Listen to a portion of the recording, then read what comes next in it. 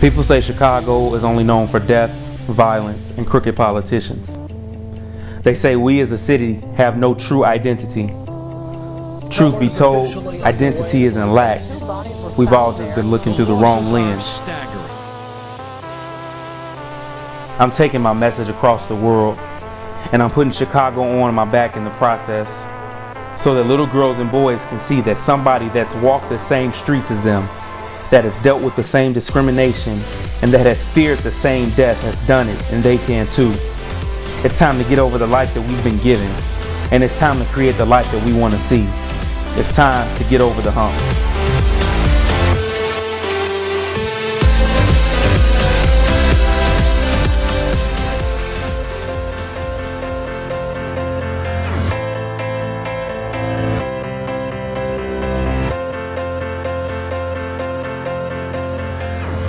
Are not alone. A lot of times in life, we get to a certain place where we might be in our job and we hate where we are. We might be around people that we don't need to be around and we hate where we are. You might feel like you're stuck at this place and you will be here forever, but you are not alone.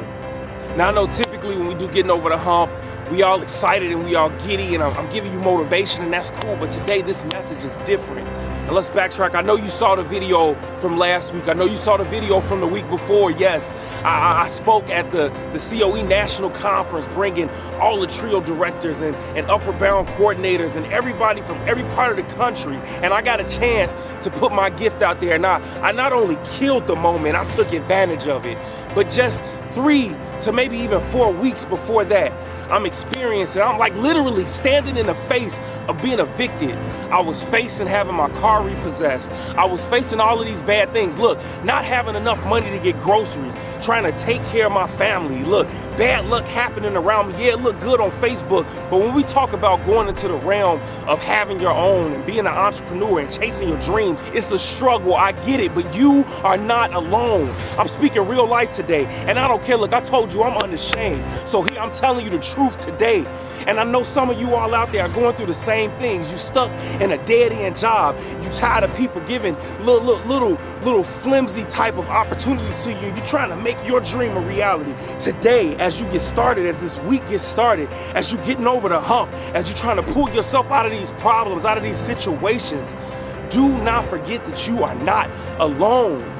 The people around you that were there when things were going well seem to be nowhere in sight now. No text, no calls, no nothing, no little bit of encouragement. I know, I know, I know because I went through it, but I'm telling you, you are not alone. And look, this is where you get into that place by yourself and sit back and recollect on everything that you've been through and take that pain and use that pain to push you to your next level of greatness. You got to use your pain to push you past everywhere you are right now because you're your dream, your vision is so much bigger than this temporary place. You don't know when that moment is coming. You don't know when that opportunity is coming. So you have to be ready, even in the midst of storm, even in the midst of tears, even in the midst of pain. Look, you have to be ready at any given moment because I'm telling you, when that opportunity comes, it might only be that one time when I went to the Hyatt a few weeks ago downtown to that conference, I put it all out on the line.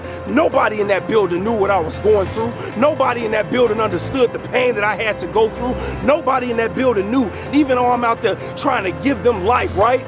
Nobody knew it. Guess what? I ain't want them to either. When I say we got out there and we blazed that speech from start to finish, we sold out books from start to finish. Look, that moment, you gotta keep pushing. Look, when you feel like you have nothing left in the tank, you gotta keep pushing because there will come a point where that opportunity will come. And when that opportunity comes, hear what I'm saying? What I'm saying? When that opportunity comes, you gotta be ready. You gotta be willing. Look, you gotta say, look, yeah, it happened in the past. Yes, I've been through pain. Yes, it's hurt. Yes, I've lost this. Job in the Bible, look, he lost everything. He still looked up to his higher calling and he said, you know what? I'm gonna bless you anyhow. I'm gonna keep going. I'm gonna keep moving and I'm gonna keep pushing because I believe in the dream that I've seen. I believe in the vision, in the words that you have told me about myself. I believe in the promises that you've made about me. So you got to believe that today, that your higher calling, that your higher being, that your God has given you strength, that your God has given you something that no man can take, no man can put you under with. And that's what's going to take you and move you throughout the pain. That's what's going to take you and move you throughout everything else. And that's what's going to keep you reminded that in everything you go through in life, you are not alone. Once again, it's your man Richard Taylor. We getting over the hump. Remember, this week you are not alone. Keep pushing. I'll see you next week. The world tonight. Who's gonna bring it back to life?